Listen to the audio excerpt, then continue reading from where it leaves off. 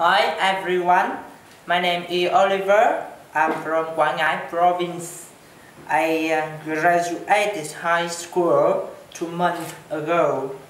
After that, I took the national high school exam, so my math isn't good enough to apply to business university where I really want, want to study um, seriously but why my mood is not good and I feel like lose balance in my future my uncle gave me an advice.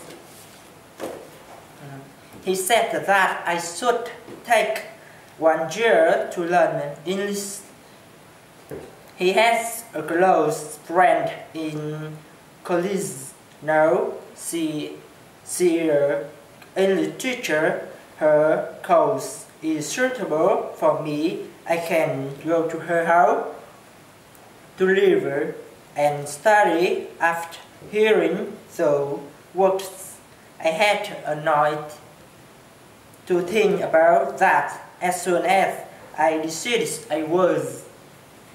Two a later, I immediately um, booked, booked a ticket and flew Beijing and I have uh, lived here for 10 days.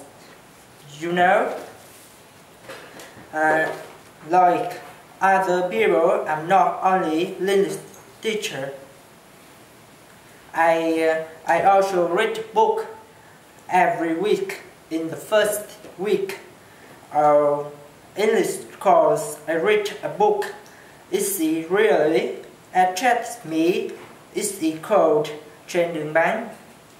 It's written by Tony Buổi Sáng. This is second book of him.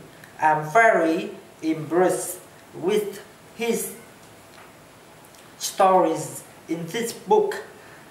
The story I like most in December life. He said that to have a meaningful life, you should have a ambition of your life.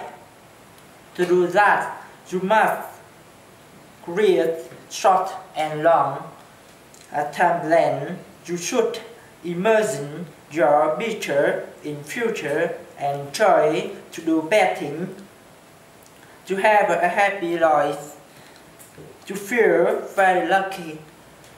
When I read this book, I support me very much for determining my choice. So today, I want to set this book to everyone, especially to younger.